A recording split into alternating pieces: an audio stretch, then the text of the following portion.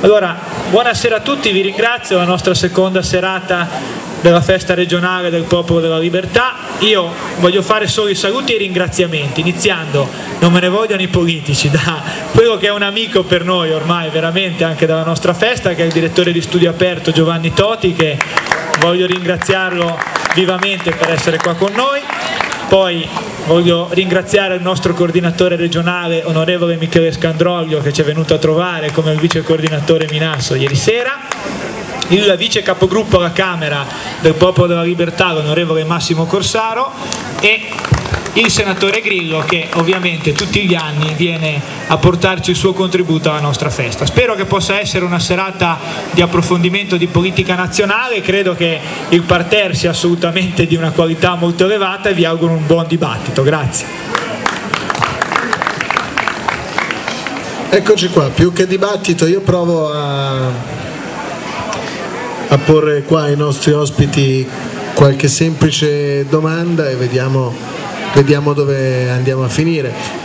Secondo me la prima domanda, quella che sicuramente interessa a tutti perché ci tocca, ci tocca direttamente nelle nostre tasche, è quella che riguarda la situazione economica del nostro Paese, la crisi e l'attacco che sta subendo la moneta europea, l'euro, lo, lo, leggete sui giornali tutti i giorni sui principali mercati del mondo, sui principali mercati del mondo, compreso oggi non è stata una giornata positiva per, per la borsa di Milano e per le borse europee in generale.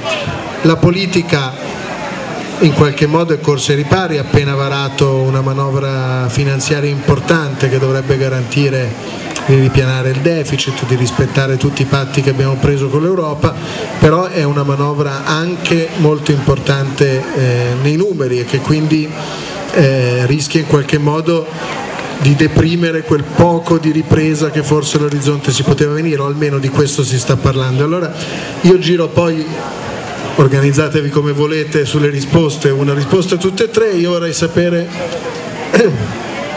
se questa manovra mette a rischio i conti pubblici del Paese, se questa manovra eh, è sufficiente a mettere al sicuro l'Italia da un rischio Grecia, Spagna, Portogallo, quello che volete di default e poi una piccola nota polemica perché c'è stata da tutte le parti se questa manovra poteva in qualche modo essere più equilibrata, lo sapete c'è stata grande polemica sull'incapacità della politica di tagliare i suoi costi, se in questo senso si poteva in qualche modo fare qualcosa di più.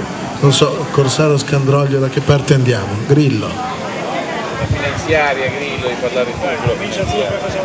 Io purtroppo eh, le condizioni nelle quali viviamo ci obbligano a parlare il linguaggio della verità. La manovra che abbiamo fatto e abbiamo fatto giustamente è già stata bruciata, cioè oggi quella manovra a seguito della speculazione internazionale si sente? Ecco. Io purtroppo devo dire che la cosa migliore di questi tempi è dire le cose come stanno. La manovra il governo ha fatto bene a proporla, il Parlamento ha fatto altrettanto bene a proporla, l'ha approvato con grande sollecitudine, però ormai l'abbiamo già bruciata. La speculazione internazionale che ha colpito duramente il nostro Paese ha fatto sì che ciò che doveva essere risparmiato è già andato in fumo. Quindi la condizione del nostro paese adesso è tornata come eravamo un mese e mezzo fa. Allora l'interrogativo qual è? E qui, cari amici, non possiamo, non possiamo sottacere alcuni fatti che stiamo arrivando. Proviamo a fare degli schemini in modo da eh, chiarire quello che sta accadendo. Noi siamo dentro la crisi economica finanziaria più devastante degli ultimi 60 anni Punto. Quando mai i capi di Stato e di governo dell'Europa si sono riuniti tante volte come è successo in questi anni? Mai. Da quanto dura la, questa crisi finanziaria? Dura da quando è risultato fallito il sistema finanziario più evoluto del mondo, quello americano. Gli americani hanno scherzato e hanno giocato in tutti questi anni avendo a disposizione due monete, con una il dollaro hanno garantito un buon livello di vita ai loro cittadini, con un'altra hanno purtroppo inquinato tutto il mondo occidentale, soprattutto i paesi a cultura anglosassone che sono falliti come è fallito il sistema bancario americano. Voglio riferire dell'Inghilterra, dell'Olanda, del Belgio, tutti i paesi in grave difficoltà. Qual è la condizione del nostro paese? Noi abbiamo avuto la fortuna di resistere alla prima tempesta finanziaria perché abbiamo dimostrato una tenuta straordinaria del nostro sistema bancario e finanziario. Punto. Dopodiché la crisi finanziaria è diventata una crisi economica. E allora un paese come il nostro, con un fardello pesantissimo di debito pubblico e con l'incapacità di mettere in campo una politica mirata alla crescita, in questo momento oggettivamente in terribile difficoltà, noi siamo in difficoltà. Io ho apprezzato la politica che il ministro Tremonti ha proposto in questi anni, ma da mesi sto dicendo che non è sufficiente, perché la politica di rigore che dovevamo fare ed eravamo obbligati a fare, il rigore fino a se stesso non ci porta da nessuna parte perché non ci porta da nessuna parte? Perché il mondo sta camminando, l'India e la Cina si stanno, stanno galoppando, l'America si sta riprendendo e noi siamo fermi perché non riusciamo a crescere. E perché non riusciamo a crescere? Perché non siamo più competitivi. E perché non riusciamo a essere più competitivi? E perché purtroppo abbiamo fatto una politica che, ha, che non ha capito che il punto deve essere questo. Quindi l'imperativo adesso è continuare la politica di rigore però avendo un'attenzione particolare alla crescita, se non cresciamo siamo finiti, siamo finiti. E questo purtroppo è una cosa non facile da fare, perché non abbiamo più risorse pubbliche da investire e quindi è difficile alimentare una crescita, creare le condizioni per una crescita, per una maggiore competitività in un paese che ha le rigidità del mercato del lavoro che ha l'Italia che ha le bardature di una pubblica amministrazione che Brunetta per carità ha fatto molto bene nella prima fase quando ha denunciato le strutture pubbliche amministrazione, eh, però fatichiamo a imporre nuove regole, non, non ce l'abbiamo ancora nuove regole. E quindi in questa condizione ovviamente per fortuna che c'è l'euro e per fortuna che c'è l'Europa, anche se l'Europa sta dimostrando una incapacità di conduzione politica, perché il caso della Grecia è emblematico, i tedeschi arroganti hanno fatto i loro comodi, si sono accorti solo 15 giorni fa che doveva essere salvata la Grecia, peccato che se ne siano accorti un anno dopo, se lo facevano un anno prima era tutto diguadagnato. Quindi cari amici, la condizione è una condizione mai vissuta dal nostro paese, perché il 92, lo dico io che ero già in Parlamento, la crisi del 92, che fu terribile anche quella, era riconducibile a vizi nostri. Nel 92 l'Italia scoprì che non poteva andare avanti a produrre come produceva l'Unione Sovietica e a consumare come consumavano gli Stati Uniti, ma era una crisi italiana. Adesso noi stiamo soffrendo maledettamente una crisi importata per il fallimento degli Stati Uniti d'America in un mondo globalizzato nel quale, questa è la cosa ancora più drammatica, il continente più debole, quello che arranca è l'Europa, perché la crisi non è dell'Italia, la crisi è dell'Europa intera e l'Europa è un continente vecchio, dove la competitività, eccetto un po' i tedeschi che poi sappiamo perché sono bravi, eh, hanno fatto l'euro come hanno voluto loro, perfetto. Quindi il problema non è l'Italia, il problema è l'Europa e l'Italia in Europa deve esigere tre cose secondo me. Deve esigere una nuova governance. Bisogna che facciamo il salto di qualità, se continuiamo a ragionare in termini di sistema paese non ce la facciamo.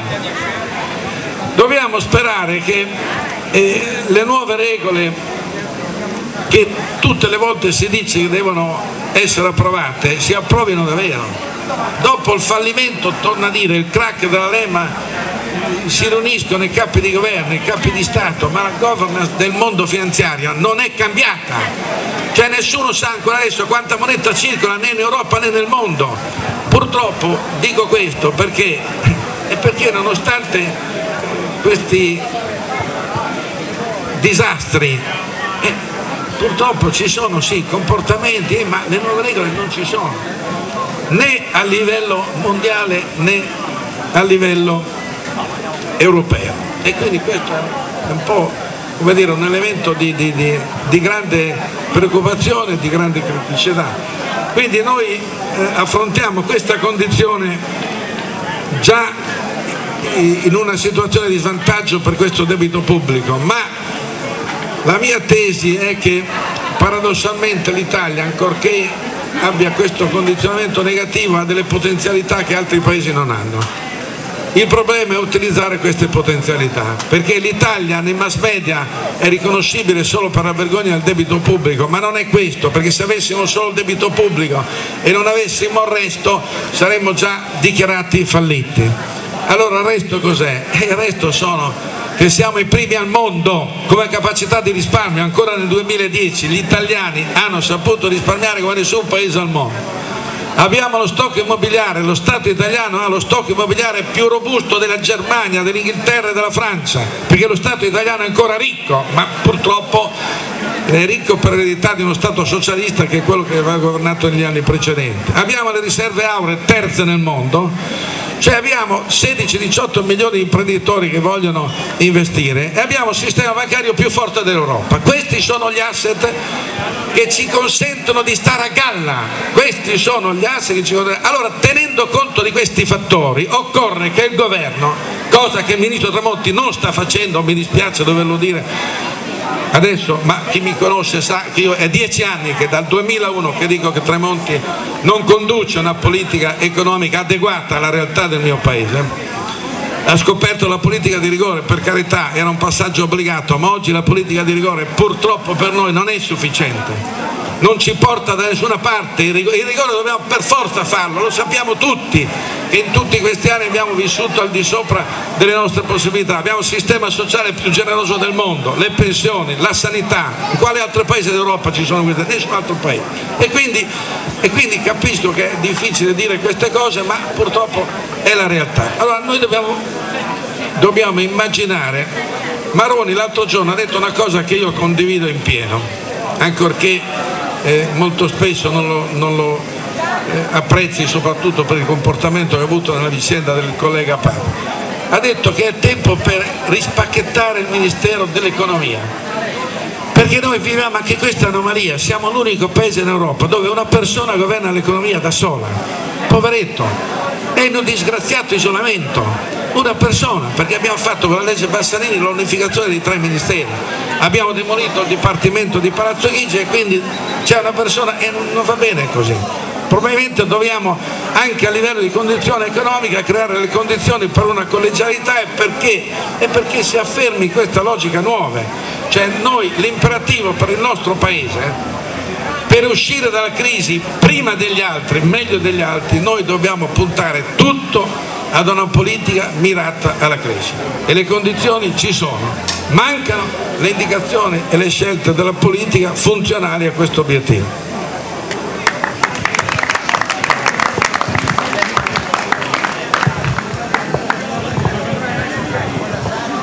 Io condivido molte delle valutazioni che ha fatto Gigi Grillo nel suo intervento, soprattutto la fotografia che ha voluto dare del panorama europeo della crisi che stiamo vivendo, ma voglio cercare, perché poi questa è la nostra competenza e la nostra responsabilità, di tornare a circoscrivere un attimo il dibattito su quello che avviene a casa nostra. Perché un applauso al Signore. Dicevo, dobbiamo tornare a circoscrivere alle nostre responsabilità l'analisi di quello che sta succedendo. Innanzitutto perché questa manovra? Perché improvvisamente tutti in Europa hanno stabilito che si dovesse compiere lo sforzo del raggiungimento del pareggio di bilancio. E non è che la cosa detta così finisce di esaurire tutti gli interrogativi dei cittadini che si chiedono perché da noi sta cominciando a diventare difficile mettere insieme il pranzo con la cena. Il dato è squisitamente tecnico ed è di facilissima comprensione se solo si parametra la situazione di uno Stato nazionale con le condizioni di ciascuna delle nostre famiglie. L'Italia che rispetto alla media dei paesi europei è quella che deve percentualmente recuperare di meno per arrivare al pareggio di bilancio, è comunque un paese che tendenzialmente ogni anno incassa 100 e spende 105. Allora, siccome ciascuno di noi è abituato a fare i conti a casa propria, sappiamo che se un anno incassiamo 100 e spendiamo 105, magari il primo anno può essere che avevamo 5 da parte e li utilizziamo per arrivare a sostenere i costi della nostra famiglia. Se il secondo anno spendiamo ancora 105 incassando 100 possiamo andare in banca a chiedere un finanziamento di 5 per coprire il buco che abbiamo generato.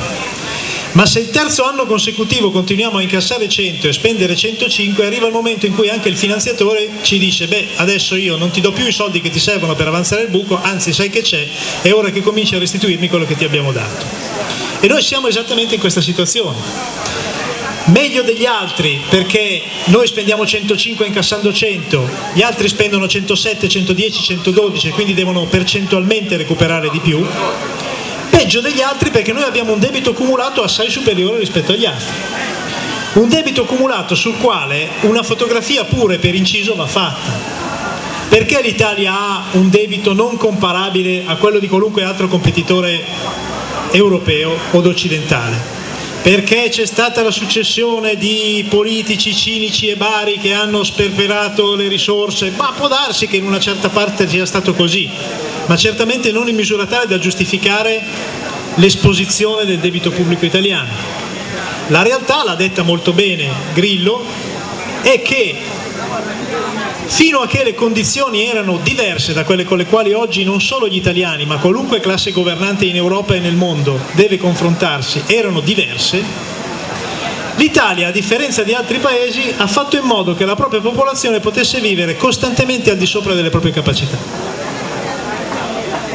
garantendo servizi di pubblica utilità, welfare, pensioni, assunzioni nella pubblica amministrazione utilizzati troppo spesso come ammortizzatori sociali, in misura spropositata, tanto ogni volta che c'era la necessità di pareggiare i conti non si chiedeva il sacrificio alle famiglie e ai cittadini come magari facevano in altri paesi, ma si faceva ricorso alla leva finanziaria, alla svalutazione della lira, alle azioni sulla, sulla, sull'inflazione, all'emissione del debito in misura indiscriminata perché non c'erano i vincoli che ti imponevano di non emettere debito in misura percentuale superiore al PIL. Fino a che tutto questo è stato possibile, gli italiani non si sono resi conto di vivere in una macchina che consumava più di quanto fossero in grado di alimentare, è esploso il debito pubblico e ciascuna famiglia non si rendeva conto che l'esplosione del debito, del debito pubblico prima o poi avrebbe rappresentato la necessità di mettere conto e di mettere mano in tasca per cercare ciascuno di fare la propria parte. Oggi le condizioni sono date in modo totalmente diverso, non si possono più fare le svalutazioni sulla moneta perché abbiamo una moneta unica, non possiamo più emettere i titoli di Stato al di sopra della percentuale che viene data, quindi è un'altra, un'altra operazione che è venuta meno. Non possiamo più agire sull'inflazione perché i dati dell'inflazione sono determinati da eh, parametri e vincoli che dipendono ancora una volta da tutta la zona euro in cui l'Italia può incidere solo in minima parte. Non abbiamo più la possibilità di esplodere nel debito pubblico, abbiamo semmai con il riferimento ad un mercato finanziario unico, con una moneta unica, la necessità di rendere appetibile il nostro debito. Quando si dice che ora i, giornali, i telegiornali ce lo dicono con una frequenza eh, direi di ora in ora, lo spread è aumentato, lo spread è rientrato. Lo spread non è un drago che emette lingue di fuoco dalla propria gola vorace. Lo spread è la differenza tra il tasso di interesse del debito pubblico dello Stato più solido, nel nostro caso dell'area euro la Germania, e il debito pubblico del paese di riferimento. Se domani mattina la banca centrale tedesca emette 100 euro di debito pubblico, il tasso di interesse è il 2,2%, se domani mattina Tremonti emette 100 euro di debito pubblico emessi dalla Banca d'Italia, il mercato per poter acquistare quel debito e quindi per dare il finanziamento che serve all'Italia chiede lo stesso 2,2 che viene, che viene chiesto ai tedeschi più un differenziale, quello è lo spread, che è il 2%, che è il 3% a seconda delle giornate, a seconda delle alterne fortune, delle alterne vicende e della credibilità del sistema italiano rispetto al mercato internazionale. Ogni punto percentuale di differenza in più, ogni punto percentuale di differenza in più nel debito pubblico costa all'Italia 19 miliardi, cioè un paio delle manovre ordinarie, lasciamo perdere l'ultima straordinaria che abbiamo fatto, un paio delle manovre ordinarie che facciamo annualmente, per un punto di differenziale. Questo perché? Per terrorizzare? No, per dire che la manovra, rispondo alla domanda, era necessaria? Sì, era necessaria. È stato giusto farla così? Sì, è stato giusto farla così perché è la manovra che ci consente di arrivare credibilmente nel 2014 con un bilancio in cui incassiamo 100 e spendiamo 100. Basta così? No, non basta così perché non solo per quello che ha detto Grillo, cioè perché con la speculazione che è stata incentrata in particolare sull'Italia, sulla Spagna, sulla Grecia in queste ultime settimane, già un po' di quel recupero che abbiamo fatto ce lo siamo fatti erodere. Ma non basta perché purtroppo l'Italia ha un sistema economico-finanziario vecchio rispetto alle necessità e alle opportunità di sviluppo, perché delle due l'una. O noi mettiamo le mani nelle tasche degli italiani e diciamo che ognuno deve sulla base di una dotazione patrimoniale come vorrebbe la sinistra, tirar fuori dei quattrini per cercare di abbassare il debito pubblico e non è la politica che a noi piace e non è la politica che intendiamo perseguire, oppure l'altro rovescio della medaglia è che diamo elementi potenziali che possono far sviluppare il prodotto interno lordo. Dobbiamo intervenire sul numeratore per aumentare la possibilità. Qual è il problema? E vengo alla conclusione. Il problema è che noi abbiamo un sistema economico vecchio, è un sistema economico che è andato bene nei 30 e 40 anni di esplosione economica dell'Italia, nel boom industriale, in cui l'Italia è stata sostanzialmente la Cina del mondo occidentale, in cui non si è contraddistinta per una qualità produttiva avanzata, in cui non ha investito in formazione in qualità, in cui è stato il paese in cui si faceva la produzione di massa per tutto il mondo occidentale. Oggi questo vantaggio competitivo l'Italia non solo non ce l'ha, ma non lo potrà mai più recuperare perché ci sono nel mondo sistemi e paesi e cicli di produzione che sono in grado di fare le stesse cose che si fanno a casa nostra facendole pagare 10 volte meno. Allora il differenziale di investimento dove la politica deve agire è mettere il nostro sistema economico industriale nelle condizioni di potersi riconvertire in termini qualitativi, il che presuppone la riattivazione di un circolo virtuoso tra domanda e offerta di formazione, perché le nostre università calano nella classifica delle, delle, degli elementi di formazione più, più, appetibili in giro per il mondo, perché le nostre scuole non valgono, perché per 20 anni, per 30 anni, per 40 anni il nostro sistema di impresa non ha chiesto formazione qualificata, non ha chiesto personale in grado di fare cose innovative. Allora, la vera scommessa deve essere purtroppo oggi, con le risorse date, quella di diminuire il sistema di difesa sociale che in Italia è stato costruito in questi anni e di utilizzare le risorse che si devono andare a restringere da quella parte per mettere le nostre imprese nelle condizioni di poter investire e di poter investire per rendere più appetibile la propria produzione per poter ricostruire un circolo virtuoso tra domanda e offerta di formazione tale da poter ritornare a far competere le nostre imprese sul sistema internazionale. Perché? Chiudo se noi non siamo in grado di ridare appetibilità e competitività al nostro sistema economico non sarà nessun ministro dell'economia, non sarà nessun governo, non sarà nessuna politica che sarà in grado di fare la ricchezza.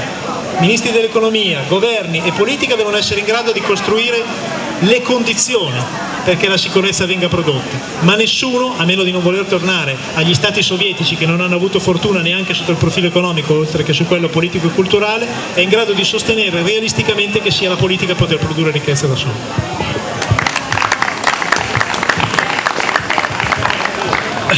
Io eh, dopo due dire, valenti esperti in materia eh, vorrei affrontare il tema sotto un profilo più semplice. Eh, quando Corsaro diceva noi incassiamo 100 e spendiamo 105 era esattamente la fotografia di quello che sta succedendo oggi. Io ho la sensazione che noi non incassiamo più neanche 100, quindi siamo da un lato a incassare 95, da quell'altro a continuare a spendere 105. Eh, come si risolve questo problema?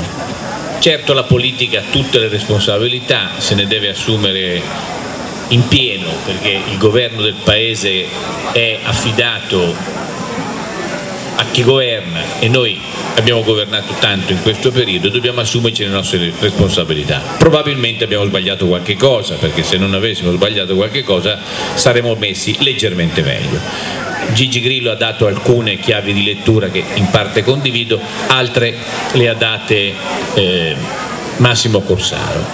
Io credo che però che ognuno di noi, io per primo, mi sono già scusato, per, io faccio parlamentare da pochi anni, per cui non penso di essere responsabile di tutti i mali di questo paese, però dire, mi faccio carico anche, anche, anche, di quello che è successo negli altri anni perché quando sei lì devi assumerti questa responsabilità. Detto questo, noi però dobbiamo anche immaginare una società più etica quando dico la parola etica, io lo ripeto molto in questi ultimi mesi, eh, dico che ognuno di noi individualmente deve aumentare la propria attenzione, la propria dire, onestà intellettuale. È la somma delle etiche individuali che fa l'etica collettiva. Questo paese meraviglioso Grillo non ce l'ha ancora detto, ma spero che ce lo dica, ha anche un sommerso che è pari al 30% del valore oggettivo del nostro PIL. Ecco che allora che ognuno di noi deve fare un piccolo sforzo o un grande sforzo alcuni per rimettersi nel circuito dell'etica individuale. Mi ricordo mia nonna, lo dico sempre perché è un fatto simpatico che mi insegnava a lavarmi i denti con un bicchiere d'acqua. Io oggi guardo mio figlio, mio, io continuo a lavarmi i denti con un bicchiere d'acqua, non credo di fare un grande vantaggio al paese, però dà il senso di quello che si è. Mio figlio apre il rubinetto e per lavarsi i denti consumerà come meno 10 litri d'acqua. Cioè il principio di tutto sta in un nuovo percorso individuale in cui ognuno di noi politici devono essere frustrati, bisogna togliere lo stipendio, li, li buttiamo tutti in galera, va bene. Ma anche se facessimo tutte queste bellissime cose, il sistema non funzionerebbe lo stesso se ognuno di noi non fa quel pezzo di strada in più e lo deve fare quello che non vuole fare la fattura, lo vuole fare chi si approfitta facendo la cassa integrazione per fare il lavoro in nero, lo deve fare il politico che fa le cose che non deve fare, ma lo deve fare anche dire, il giornalista che deve dire la verità e non deve spaventare nessuno.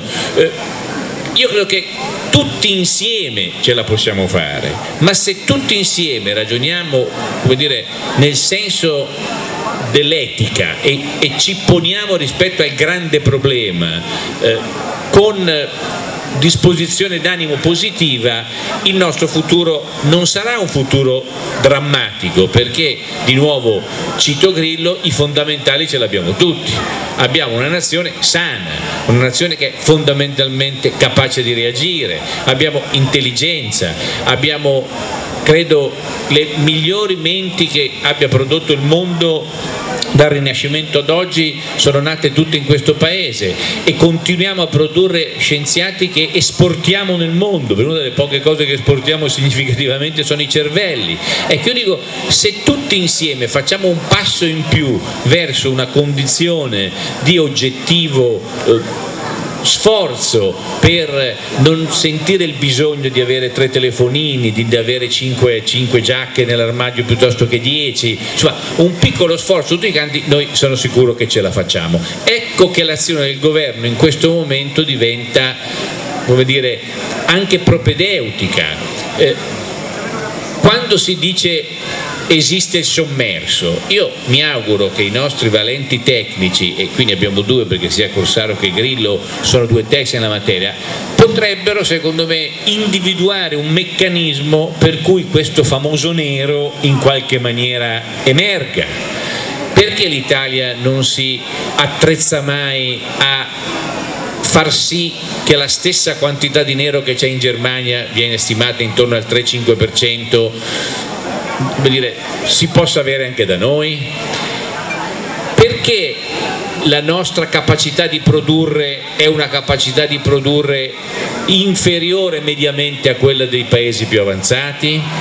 Ora, nell'un caso credo che ci sia eh, una responsabilità individuale di chi produce questo sommerso e nell'altro caso la responsabilità individuale dal manager all'operaio di chi non fa per otto ore al giorno il suo dovere come lo fa uno di un altro paese. Ecco che dico che la salvezza, visto che noi abbiamo le condizioni oggettive per farla, per realizzarla, sta nelle nostre mani. E io sono convinto che più ci spaventiamo, più arriviamo in fretta a determinarsi in questa direzione. Il governo non deve spaventare, deve dire la verità. E la verità è una verità che se noi non ci tiriamo su tutte le maniche e facciamo il nostro dovere, allora sì che ci dovremo preoccupare.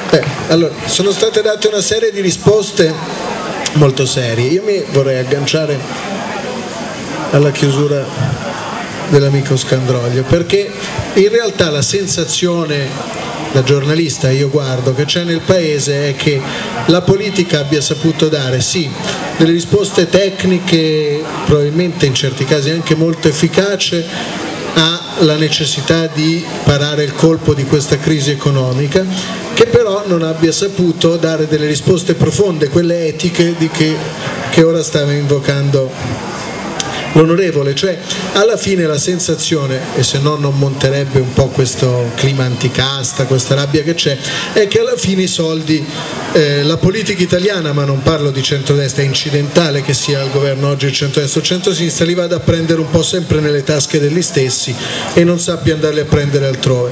Lo dico per portarvi da un'altra parte, cioè eh, da una parte l'avete detto, c'è una crisi strutturale di sistema, questa volta di sistema economico, nella fine degli anni Ottanta era di sistema politico. C'è un clima, eh, c'è una serie di inchieste della magistratura che certamente non aiutano in questo momento la credibilità complessiva del sistema della classe dirigente del nostro paese.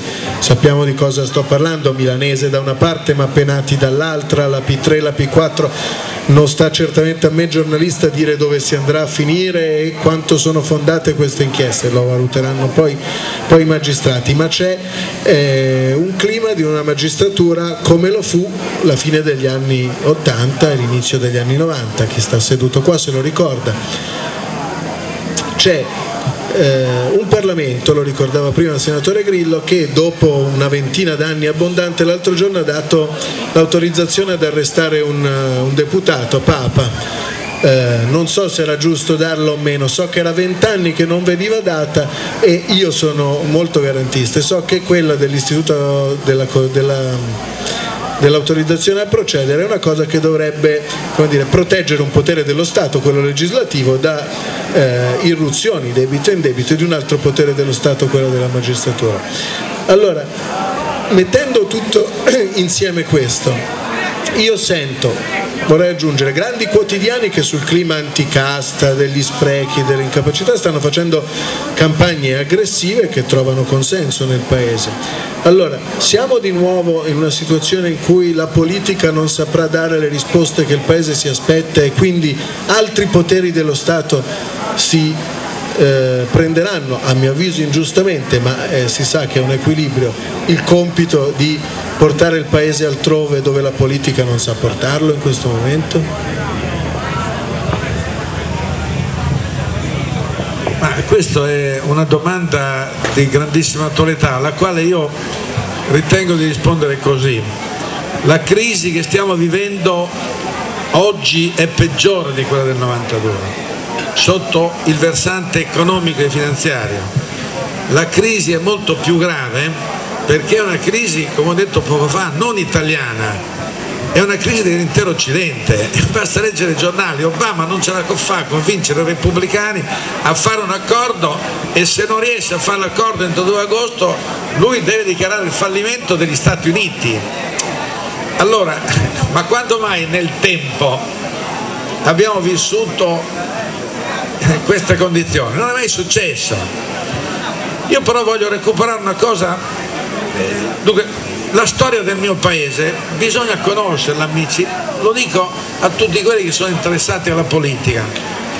Allora, c'è molta confusione perché purtroppo la gente studia poco e riflette ancora di meno. Dunque, l'Italia è uscita dalla guerra come un paese distrutto e svergognato, non avevamo nulla, non avevamo miniere, non avevamo petrolio, non avevamo infrastrutture, eravamo un paese agricolo e sottosviluppato. Nel 48 è caduta una cosa importante, dal 48 al 92 l'Italia ha fatto nel mondo, nel mondo, ciò che nessun paese ha altro fatto cerchiamo di mettere un punto fermo. L'Italia ha fatto 48-92 ciò che neppure i giapponesi hanno fatto, neppure i tedeschi, ancorché fossero dotati di cose che non avevamo. Dopodiché una cultura, la saldatura di tre culture, quella comunista, quella socialista, quella cattolica, ha fatto sì che questo processo di crescita si scaricasse tutto sul bilancio dello Stato. Nel 68 i comuni più progressisti erano Bologna e i comuni della sinistra perché davano gratis l'utilizzo degli autobus e poi abbiamo visto che cosa succedeva, che le aziende dei trasporti scaricarono sul bilancio del comune, il comune sullo Stato, lo Stato metteva i botti e il debito pubblico è cresciuto così. Quindi siamo arrivati al 92 e ci siamo accorti che non potevamo più tenere quel tipo di trend. Perfetto. E da lì è cominciato il disastro io non ho mai pensato che la falsa rivoluzione di mani, pulite segnasse la discontinuità della prima Repubblica con la seconda. È un inganno alimentato da una certa stampa. Il distacco e la discontinuità tra la prima e la seconda Repubblica è segnato dall'ingresso dell'Italia nell'euro. È l'euro che fa nascere una nuova realtà è l'euro che ci può autorizzare a parlare di seconda repubblica, perché nella prima repubblica, come ricordava bene Massimo, noi siamo stati campioni del mondo, anche se ci siamo trascinati dietro un debito, ma come diceva il ministro Goria, se anche nel 92 avessimo fatto la somma algebrica tra il debito pubblico e il risparmio degli italiani, saremmo stati comunque più ricchi di tanti altri paesi. Perché la cultura dominante cosa ha prodotto? Ha prodotto che le famiglie si sono arricchite perché tutti avevano sotto il materasso dei bot, avevano risparmi nelle banche e lo Stato si è indebitato. Lo Stato ovviamente comune, provincia, regione. Quindi lo stato di salute dell'Italia non era drammatico allora. Lo sta diventando adesso perché per le cose che diceva Michele, ma poi soprattutto perché non c'è futuro, perché è più complicato adesso mettere in, in campo una politica finalizzata a far tornare competitivo questo Paese. Allora, perché l'euro ha rappresentato questa disponibilità e perché nell'euro è stato ricordato non ci sono più risolute competitive, non ci sono più le cose che ci hanno consentito di fare quello che abbiamo fatto nella prima Repubblica. Nell'euro conta di produrre meglio a costi più contenuti e noi questo confronto a livello europeo e mondiale lo stiamo perdendo. Ma perché? È perché dico una cosa che così la capite bene, anche se io ho usato prudenza. 31 anni fa l'Italia produceva il 5% della cantieristica mondiale, c'erano 9 cantieri in Italia, davano lavoro a 11.000 dipendenti. Oggi l'Italia non produce l'1% della produzione cantieristica perché ci sono i, i cantieri coreani, giapponesi che fanno, e, e cinesi che fanno le navi meglio di noi, più tecnologicamente avanzato a metà del costo nostro. Allora si dice, vogliamo rimettere in discussione questa cosa qui, ma non per chiudere i cantieri, non per mettere la gente casa, ma per dire non c'è futuro, un certo tipo di produzione non ha futuro. È inutile che illudiamo la gente mettendoci in prima fila nei, nei, cortei a scioperare assieme alla CGL e al CISL. L'abbiamo capito da anni che CGL e CISL sono elementi di conservazione. Ormai il sindacato in Italia è formato al 60% da pensionati, ma vogliamo continuare a illuderci prendendo in giro la gente o vogliamo pensare al futuro delle nuove generazioni che hanno diritto a avere un paese che scommette su qualcosa di alternativo? Tutto qui, tutto qui. Dopodiché ne abbiamo, certo che ne abbiamo le risorse, perché noi, perché noi siamo riusciti a fare cose che altri paesi non hanno fatto, ma è la cultura di sistema che non sta prendendo. È una politica che deve... E allora sulla politica, così mi saldo con l'osservazione del nostro ottimo, noi dobbiamo fare una cosa, lo dico io che di qui dal tavolo sono l'unico che era già in Parlamento nell'87. Nell'87 per arrivare in Parlamento dovevi conquistarti consenso, la gente doveva nel segreto dell'urna mettere il tuo nome, doveva votarti, non è più possibile andare avanti col Parlamento dei nominati, non ha senso, non è reattivo un Parlamento dei nominati dove comandano cinque persone e dicono cosa bisogna fare, non è più possibile, è questo che la gente non tollera più non se ne può più, ma, è, ma è, allora l'etica comincia da lì, l'etica comincia da lì, ti devi guadagnare il consenso e devi quotidianamente confrontarti con la gente che ti ha votato, che ti ha scelto, perché devi avvertire alla tensione reale di essere in Parlamento rappresentante di qualcuno, oggi di chi siamo rappresentanti? Basta essere messi bene nella lista e questo non funziona, non va bene. Ecco, cominciamo da qui i costi della politica e qui mi fa piacere che ci sia un giornalista autorevole lunedì e martedì il Parlamento approverà il proprio bilancio. Io non ho ancora trovato nessun giornalista che abbia detto un pezzo di verità. Il Parlamento italiano costa lo 0,5% del costo della politica nazionale, lo 0,5% il costo del Parlamento, Senato e Camera dei Deputati. Eppure tutte le polemiche, tutte le asprezze sono ricondotte da casta che sta in Parlamento. Ma non prendiamoci in giro. Il costo della politica in Italia fatto 100, il Parlamento costa 0,5%.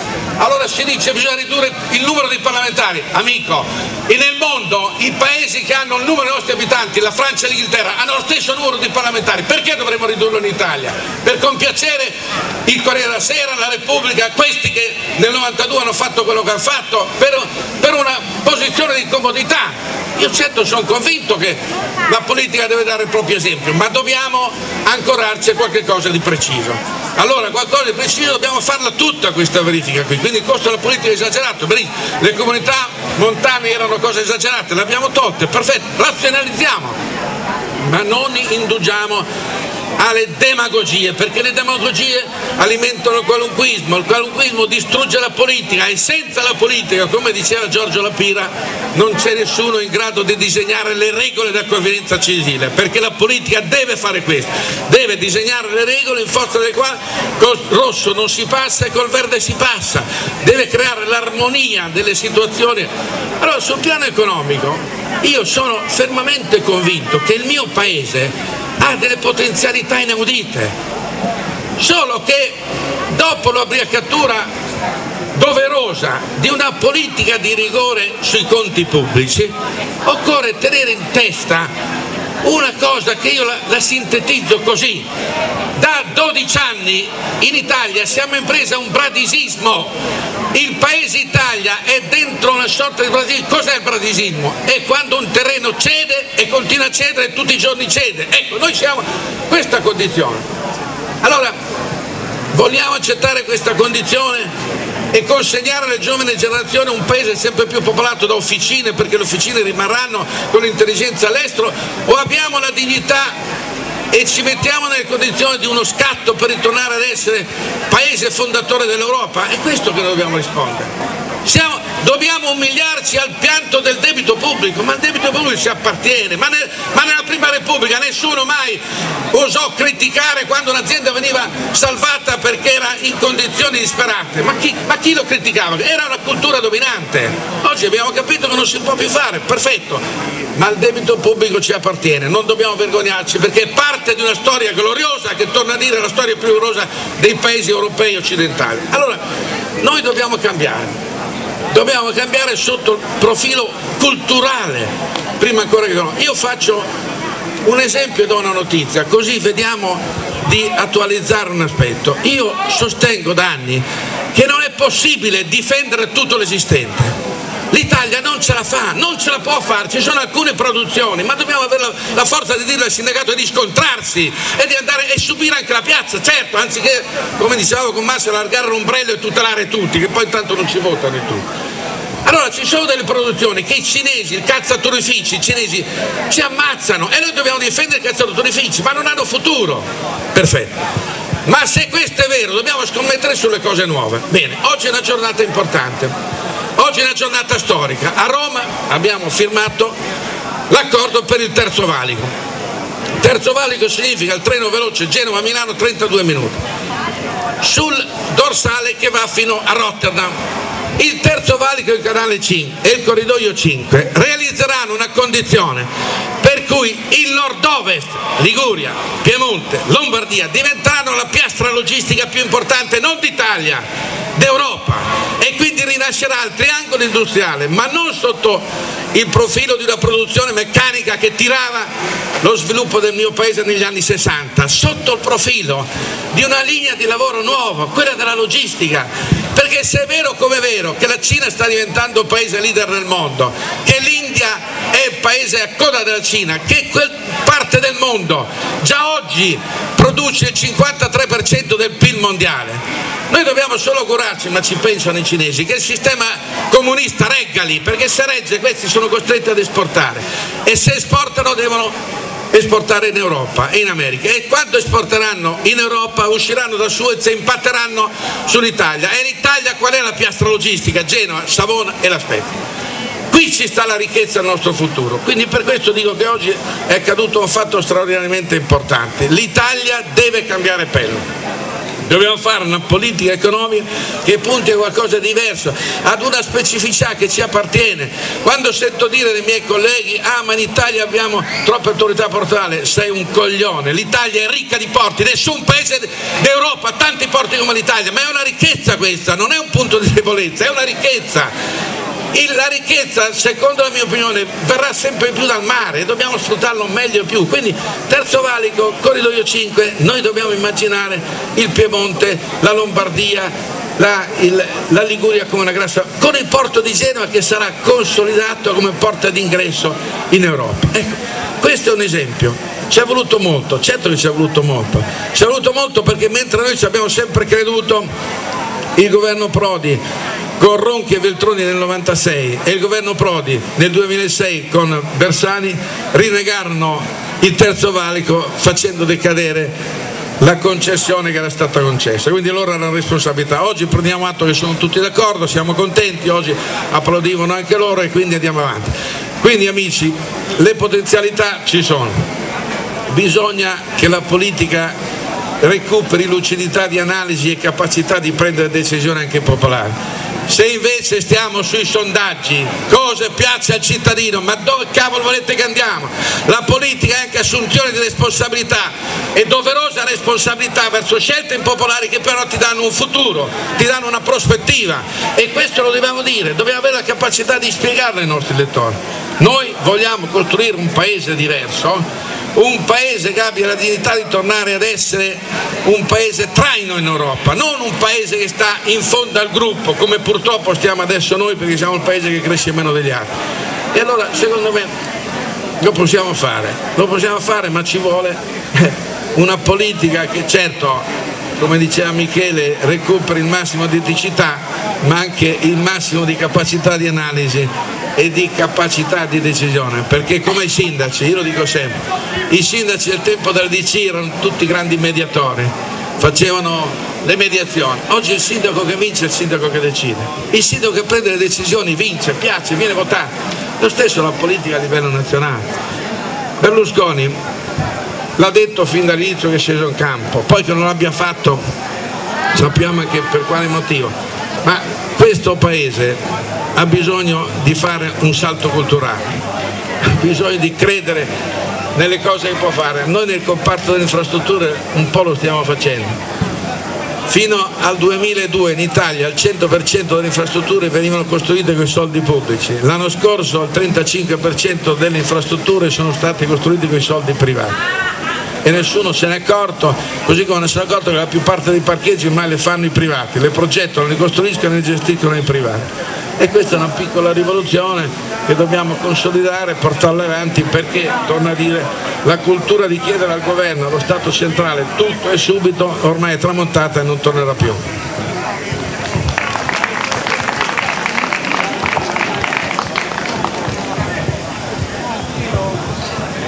Io cerco di tornare alla domanda. Avevo sei anni, la prima volta che ho sentito parlare di politica ed è successo perché mi è capitato di origliare una barzelletta che un amico di mio padre raccontava a mio padre. E la barzelletta diceva più o meno così, adesso non lo ricordo nel dettaglio, ma il senso era il tizio che arriva a Roma in centro con l'automobile arriva in piazza del Montecitorio perché lascia la macchina, la chiude, fa per andarsene, viene immediatamente avvicinato dalla polizia e dai vigili di Roma che gli dicono mi scusi signore lei qui non può parcheggiare perché qui siamo davanti al Parlamento e vengono tutti i deputati e quello guarda il vigile e poi gli dice ma non si preoccupi perché ho l'antifurto perché dico questa cosa? perché l'antipolitica è una roba che è insita nel, nel, nel, nell'umore popolare da sempre anche quando le cose vanno bene anche quando Figuriamoci in una stagione in cui per le cose che ci siamo detti le cose vanno tutt'altro che bene. Figuriamoci in una stagione in cui per la prima volta dobbiamo dire agli italiani che alle necessità primarie non pensa sempre e solo lo Stato, ma bisogna che comincino ad organizzarsi loro perché lo Stato non ha più la disponibilità per allargare la propria cintura a dismisura. E quindi è certo che l'antipolitica di oggi, sulla quale intinge il pane un eh, professionale sistema di comunicazione. Poi piacerebbe sapere per esempio quale balzo sia stato registrato nella dichiarazione dei redditi di Rizzo e Stella da quando hanno scoperto che il filone dell'antipolitica poteva rappresentare un elemento, un elemento, un elemento di, di, comunicazione. Ma insomma, ognuno fa, ognuno fa il suo mestiere. Non c'è dubbio che adesso siamo di fronte ad un attacco importante, rispetto al quale, sono d'accordo con Grillo, dobbiamo rispondere con serietà e non con demagogia. Non dobbiamo rispondere con demagogia perché i numeri sono incomparabili. Chi dice che nella politica e nella gestione della politica nel suo complesso in Italia ci sono grandi sacche di dispersione, dice il vero, chi dice che il recupero di quelle sacche di dispersione sia anche lontanamente paragonabile alla costruzione del fabbisogno di cui avremmo necessità prende per i fondelli gli italiani, stiamo parlando di parametri esageratamente diversi. Anche qui la storia viene da lontano. La politica è stata ed è una cinghia di trasmissione anche rispetto a necessità di risposte popolari che altrove sono state realizzate magari mettendo in piedi circoli virtuosi tra pubblica, la, la, il pubblico impegno e le, le, le risorse private, l'imprenditoria e quant'altro e che da noi hanno, hanno visto l'utilizzo di ammortizzatori sociali per il canale della politica, il fatto di conoscere il, il parlamentare, il consigliere comunale, il sindaco. Io sono stato 13 anni assessore regionale in Lombardia, che non è esattamente l'ultima regione dell'Angola, e mi è capitato spesso di recarmi, avendo avuto deleghe all'industria e ai trasporti, di recarmi all'Unione Europea. Ed è una passeggiata educativa per chi deve rendersi conto di come non ha funzionato e non funziona in Italia il rapporto tra la società nel suo complesso e la classe politica che è sempre lo specchio della società.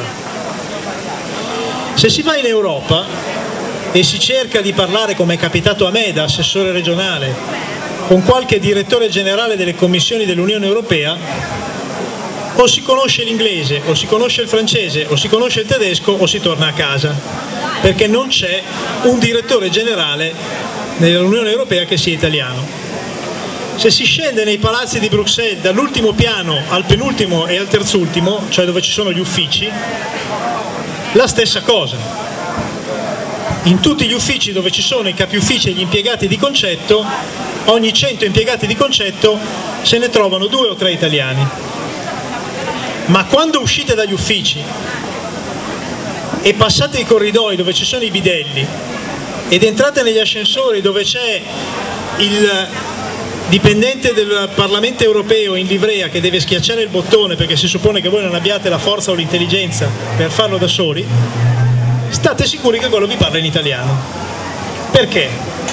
Perché siccome la partecipazione di tutti i paesi all'Unione Europea è parametrata alla propria popolazione e poi ponderata per pesi specifici, nei 20 e 30 anni in cui si è costruita l'Unione Europea e in cui cioè i, primi, i paesi principali, noi siamo da sempre tra i primi sei paesi fondatori, quindi ci siamo dall'inizio, avevano la possibilità di partecipare alla costruzione della macchina Unione Europea.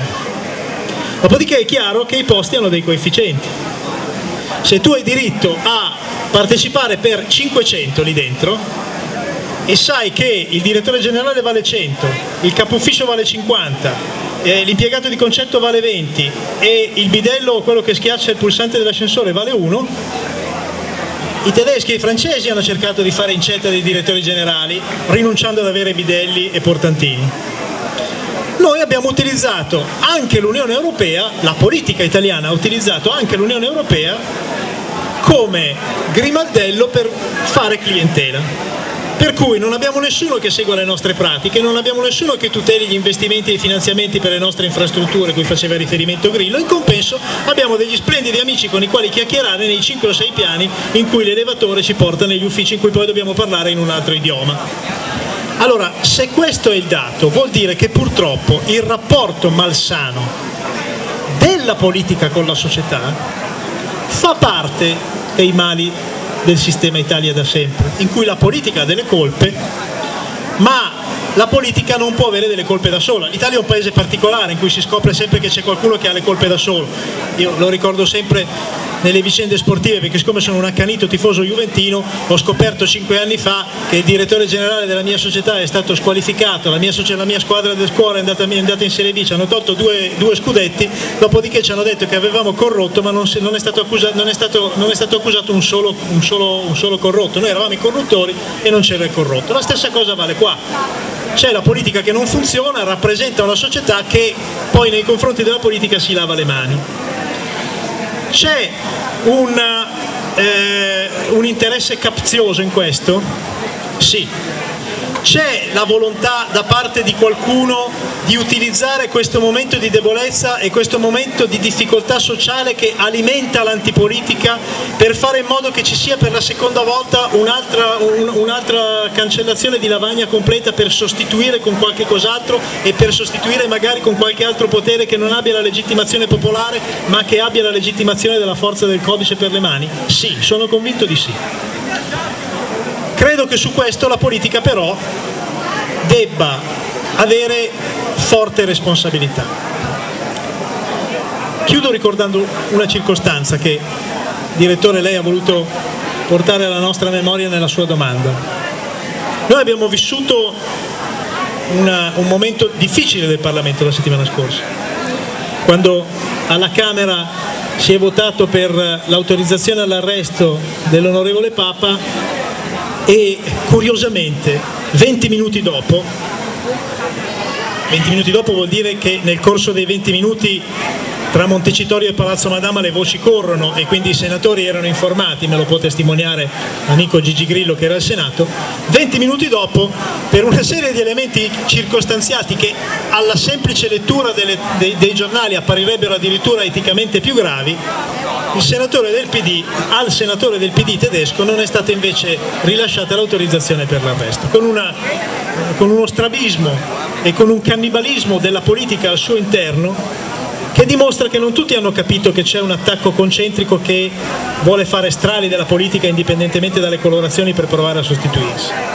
Detto questo però, il dato vero, lo dico perché sono stato credo il primo all'interno del nostro partito a dirlo in chiaro e a rilasciare anche delle interviste in questo senso a livello nazionale, noi però non possiamo alzare spallucce, cioè c'è oggettivamente un attacco concentrico nei confronti della politica, c'è la volontà di tornare a creare un clima nei confronti della politica che faccia sembrare che tutti siano dei cialtroni, che tutti siano dei furfanti, che tutti siano dei ladri. Sono convinto che così non sia, ma sono anche altrettanto convinto che nella, della, nella nostra stagione politica sia necessaria quella riacquisizione di etica e di moralità a cui faceva riferimento Michele prima. Per cui cominci a diventare un po' meno frequente. Il fatto che se io faccio politica e apro la porta del mio ufficio, dietro ho faccendieri, faccenducoli, rappresentanti, lobbisti, portatori di un interesse, portatori dell'altro, non solo nell'ufficio personale, ma nelle sedi istituzionali, perché poi noi leggiamo quello che succede dalle intercettazioni più o meno legittimamente pubblicate ma quello che succede nelle istituzioni è eticamente ancora peggio. Io faccio parte della Commissione Bilancio della Camera dei Deputati, è la commissione nella quale si svolgono le discussioni sugli argomenti di maggiore rilevanza nazionale, cioè le leggi finanziarie, le leggi di bilancio. Quando c'è una manovra finanziaria, quando c'è una manovra di bilancio, ci riuniamo nella cosiddetta sala del mappamondo perché la sala della commissione bilancio è troppo angusta per consentire il lavoro con i faldoni di, di, di, di carte, di, fotocopie degli emendamenti che sono presentati. Ci troviamo nella sala del mappamondo che è la sala più grande nella quale si può lavorare alla Camera dei Deputati e nello spazio antistante vi svelo un altro male della politica, così almeno ci sarà un motivo in più per essere incazzati nei confronti dei parlamentari, c'è il vezzo di farsi portare i termos con il caffè, perché magari le sedute durano ininterrottamente per un giorno e una notte, quindi fuori il deputato cinico e baro esce e si consuma il caffè alle spalle della cittadinanza. Quel termos è il terminale dei mali dell'umanità perché senza che lo sappiano, o meglio, senza che lo scrivano i giornali, senza che lo intercettino i magistrati, il misero deputato che fa parte della commissione bilancio di qualunque partito non riesce a consumare il suo caffè perché tra la porta di uscita della sala del mappamondo e il tavolo nel quale è appoggiato il termos viene investito nell'ordine dal rappresentante dell'associazione delle banche, dal rappresentante dell'associazione delle, delle, delle, assicurazioni, dal rappresentante di Confindustria, dal rappresentante di Confartigianato, dal rappresentante del terzo settore, dal rappresentante della bocciofila e dal rappresentante del, dei centri sociali di formazione culturale sul ciclo di riproduzione della foca monaca e ciascuno cerca di rendersi simpatico a questo o a quel parlamentare perché all'ultimo momento Parlamento dice guarda ci sarebbe questo emendamentino, non costa niente, però le assicuro che è una cosa importante, poi noi le diamo visibilità e rispetto. Allora, il sistema funziona così, non so come possa essere fatto funzionare altrimenti, ma certamente c'è la necessità di una riacquisizione di etica. Dicevo prima, io sono stato il primo a sollevare il tema una, con un'intervista che ho rilasciato al Corriere della Sera qualche giorno fa. Io sono contrario lasciare campo libero a chi vuole uccidere la politica e prendere il posto della politica. Tradotto, sono contrario ad autorizzare l'utilizzo della carcerazione preventiva in corso di indagine perché quello è uno strumento coercitivo che viene utilizzato per farsi dire anche le cose che magari non sono vere per uscire prima di galera ed è uno strumento di tortura mediatica prima ancora che fisica e culturale. Ma sono assolutamente favorevole che se c'è un sospetto su qualcuno la magistratura debba essere messa in condizione di andare fino in fondo a scoprire che cosa c'è. Sono assolutamente favorevole a garantire che se si scopre con un grado di giudizio definitivo che qualcuno ha fatto qualche porcheria, quello debba essere condannato e debba pagare la sua condanna. E sono assolutamente non favorevole ma determinato a fare in modo che diventi uno stato di necessità, almeno nel popolo della libertà, che quando qualcuno è credibilmente soggetto a qualche attenzione da parte della magistratura per elementi che coinvolgono la moralità con la quale sta svolgendo la sua funzione pubblica, quel qualcuno sia messo in condizione quantomeno di non nuocere all'immagine politica e faccia un passo indietro rispetto al partito. Io voglio che il popolo della libertà, che sta costruendo da oggi un suo futuro che deve rispondere a quell'esigenza di risposta della politica. Perché la politica oggi si è incartata anche perché da troppi anni in Italia la politica non è più tale, è un derby continuo tra quelli che sostengono Berlusconi e quelli che vogliono vedere morto politicamente Berlusconi, magari qualcuno lo vorrebbe vedere morto non solo politicamente. Noi, ed è, ed è particolare che siamo stati proprio noi del Popolo della Libertà ad averlo capito, siamo i primi ma magari torneremo su questo argomento se c'è spazio ancora per un'altra domanda, siamo i primi ad avere aperto una stagione che si pone l'obiettivo di costruire una politica che vada al di là del derby pro o contro Berlusconi, ma se vogliamo essere i primi a costruire la politica dei prossimi 10, 20, 30 anni dobbiamo anche essere i primi a far capire ai nostri elettori e a quelli che fino ad ora non, non ci hanno guardato con simpatia che qui possono arrivare sapendo di poter contare su gente per bene.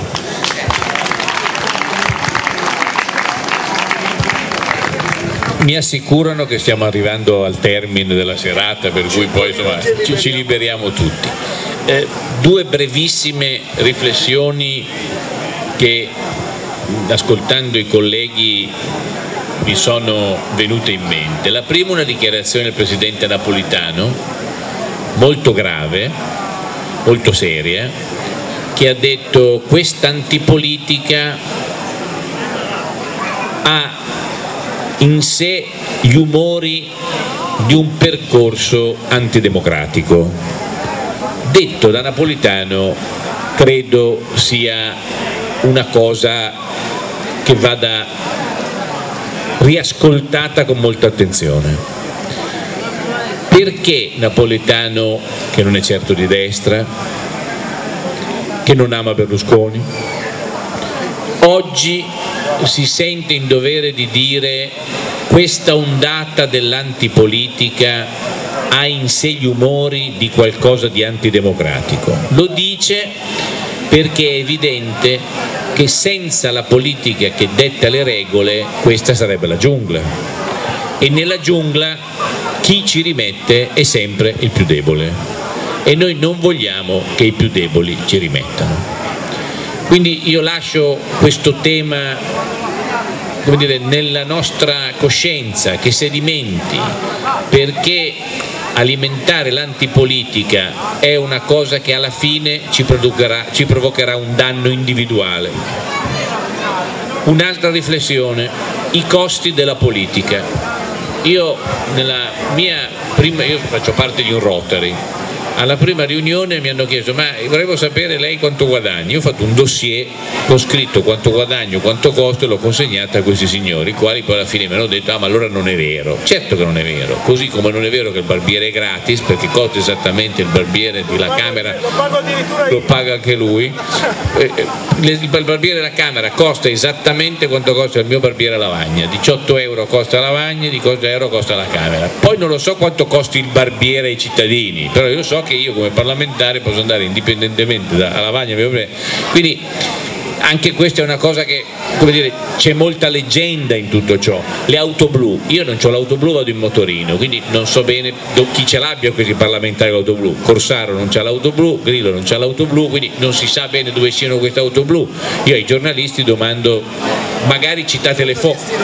No, no, no, dico magari citate la fonte ogni tanto, quando ma il signor c'ha l'auto blu, bene, ma ditemi chi, come, dove, quando, che forse è, è più chiaro perché ho la sensazione che ci sia anche molta leggenda metropolitana in tutti questi costi della politica.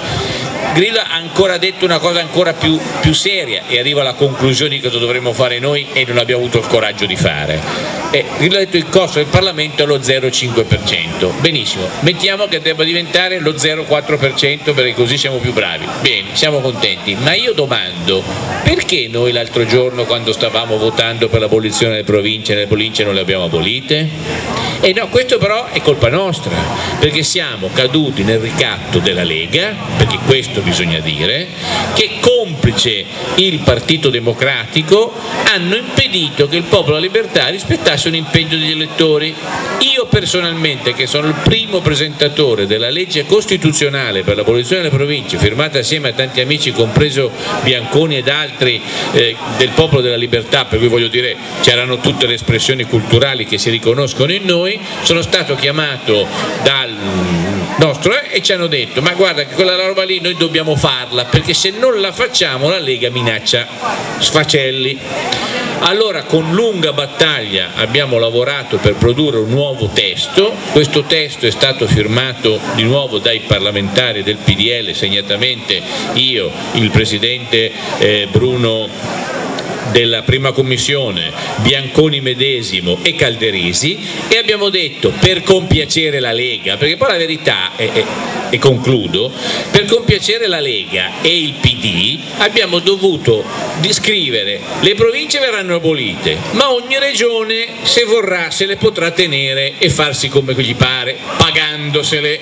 Quindi probabilmente se questa legge arriva in porto noi otteniamo il risultato di aver abolito le province, speriamo che ciò accada presto. Nel contempo abbiamo contemperato l'esigenza di stabilità del governo perché non potevamo mandare tutto a puttane, ma il risultato è che abbiamo fatto una figura di merda. Ecco, questa roba qua io, caro vice capogruppo, non sono più disposto a farla, perché noi facciamo un sacco di figure di merda quando potremmo non farle, perché anche in Parlamento queste cose si possono dire e dire guardate, noi votiamo questa roba, io mi sono alzato, ho detto la voto per dovere il partito, eccetera, eccetera, però noi potremmo dire guardate che la condizione in cui giuriamo è questa e dire agli italiani perché non abbiamo abolito le province. Ecco, noi forse dovremmo avere un pochino più di coraggio, perché sono convinto che nel PDL, che comunque resta il partito che sta dalla parte giusta, che ha le idee giuste e che ha i valori in cui credere per avere un disegno da realizzare e per poter consegnare il nostro paese a un futuro, non dico di certezze, ma perlomeno di speranze, deve avere il coraggio di farlo, anche a costo di sconquassare un pochino la nostra alleanza di governo. Noi non possiamo sempre subire ogni e qualsiasi cosa, è una cosa che ci rende impotenti anche nell'andare in giro e sostenere le proprie ragioni. Io vi, vi ci invito, vi invito a continuare a fare questa battaglia perché la battaglia della verità è la battaglia che ci consentirà di guardare i nostri elettori e i nostri concittadini in faccia non vergognandoci. Signori, giuro che stiamo chiudendo. Vorrei una risposta di un minuto, ma una da ciascuno di loro. Alfano è il candidato premier del 2013, augurandoci di arrivare al 2013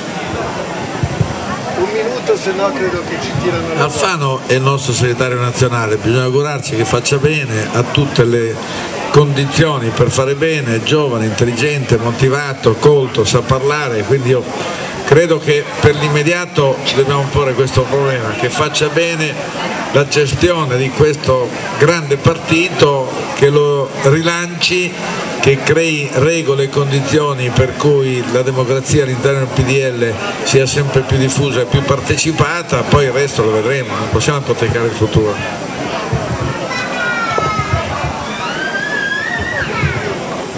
Mi dichiaro subito, ci metterò due minuti. Perché devo riprendere un passaggio che ho fatto prima. L'operazione Alfano. L'operazione Alfano è un'operazione senza precedenti. È la prima volta, realisticamente, in cui un grande leader politico avverte, mentre è ancora in pieno esercizio il suo potere, la necessità di costruire l'avvenire della sua parte politica dopo la sua stagione. Nessuno ha avuto la sensibilità, la capacità, la prontezza di affrontare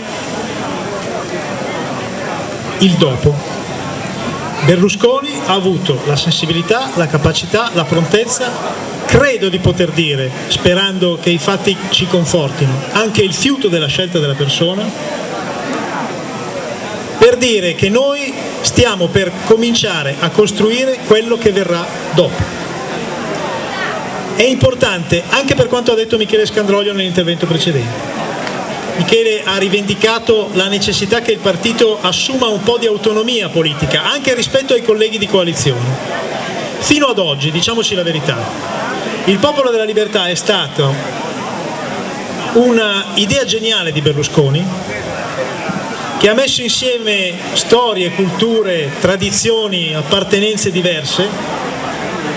Già noi che siamo qui dalla stessa parte abbiamo vissuto nella nostra storia percorsi differenti e oggi siamo tutti orgogliosamente sostenitori di questa stessa bandiera.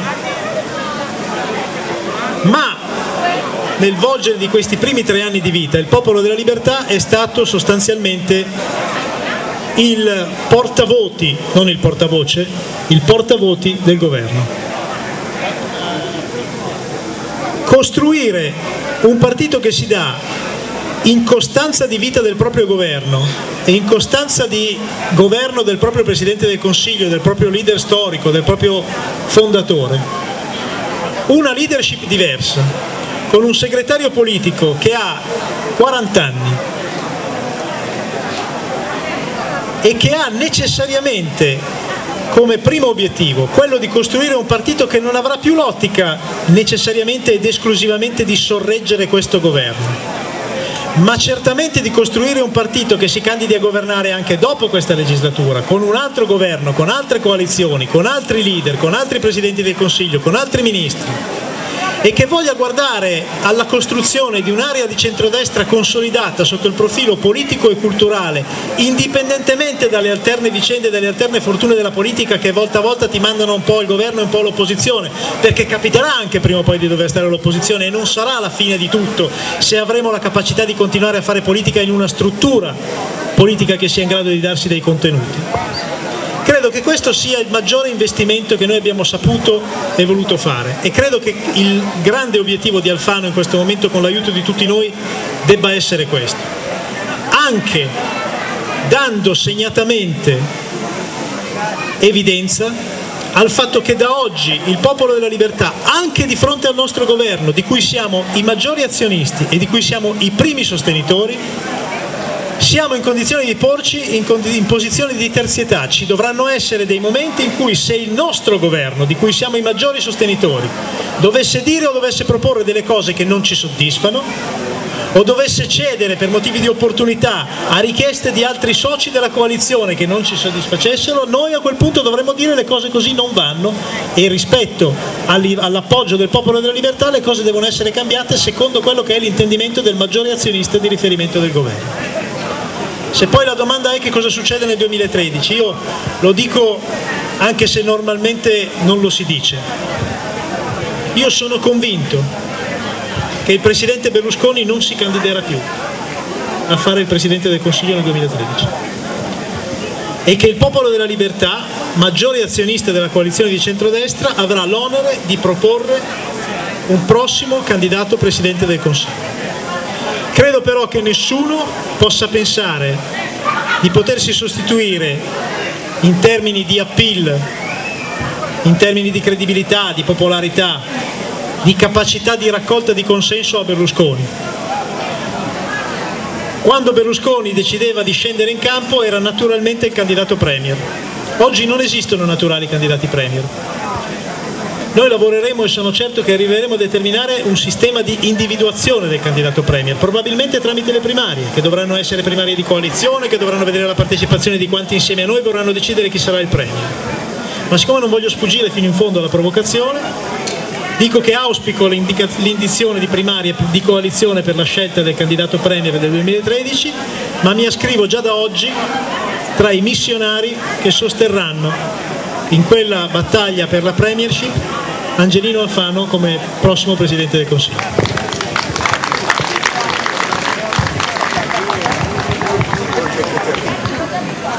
Allora, noi abbiamo votato Alfano nominandolo, nominandolo eh, un mese fa, giusto, segretario politico del partito, io credo che parta in pole position è evidente che il segretario del partito si candida automaticamente a ricoprire la leadership, così vuole il bipolarismo, così vuole ogni stagione. La conferma di questa candidatura eh, che trova la mia sottoscrizione avverrà nelle forme che la politica moderna ci suggerirà. Se saranno le primarie, io mi auguro che assieme ad Angelino scendano in campo altri, in modo che il confronto sia forte e sia determinato, magari con una ipotesi di ticket, perché noi non dimentichiamoci che quando parliamo di primarie noi dobbiamo poi sempre pensare che abbiamo un alleato e che l'alleato magari le primarie non le fa, oppure ne avremo più di uno e quindi insomma capire che non è così semplice immaginare questa scelta, ci vuole un percorso condiviso fra gli alleati che io mi auguro siano di più di quelli che abbiamo adesso e quindi poi si deve fare un percorso. Eh, rispetto al FAN io dico solo una cosa. Eh, L'altro, l'altro, giorno è stata la, la, la, riunione del comitato delle garanzie, delle regole e Berlusconi non c'era, non è una cosa da poco. Io ho assistito al primo incontro del segretario politico con i coordinatori regionali, c'era Berlusconi, devo dire la verità, ha lasciato campo molto serenamente a che Angelino argomentasse. Sono due gesti di grande generosità del Presidente Berlusconi, cui tutti noi dobbiamo essere grati perché anche se oggi la sua dire, stella non brilla più come prima, io vi chiedo di ricordarvi che se dal 94 a oggi il Popolo della Libertà, il centrodestra e i moderati non sono consegnati ai comunisti, lo dobbiamo ancora a lui.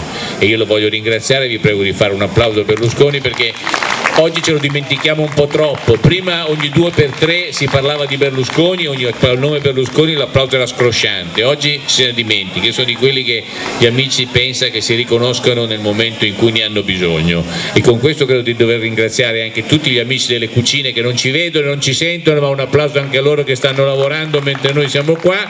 E ai due dire, inventori della festa della, uh, della libertà regionale, prima provinciale o regionale, Luigi Morgillo e eh, Giacomo Giampedrone che in questi anni unitamente a Gatti che si è dire, ultimamente accodato a questa bella avventura. Ringrazio anche la pres- della presenza il capogruppo del PDL in regione Matteo Rosso, un vivacissimo combattente e altri che non voglio citare perché sennò poi me ne dimenticherei qualcuno. Grazie a tutti e grazie anche al nostro conduttore che ci allieta sempre con la sua magnifica loquela. Grazie a tutti. Saluti, saluti a mangiare.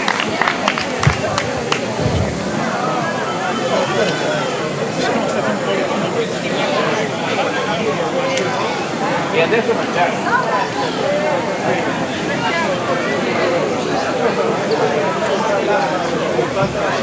you.